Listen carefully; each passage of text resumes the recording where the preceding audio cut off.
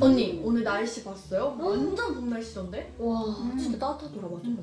다음 주 4월이잖아. 맞아. 벌써? 우리 진짜 얼마 안 남았네. 그쵸? 진짜 떨려. 어떡해. 어, 완전 떨려 진짜. 떨려요? 응.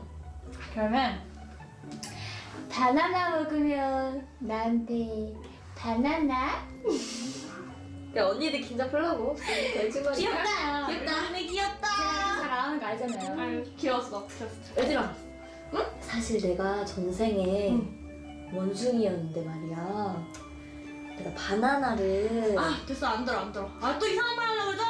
안 들어. 아, 언니 왜 그래요?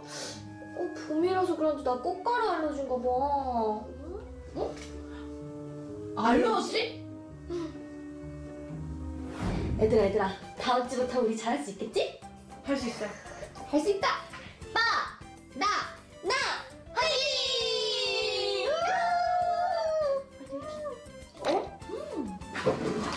헉, 이거 카메라 아니야?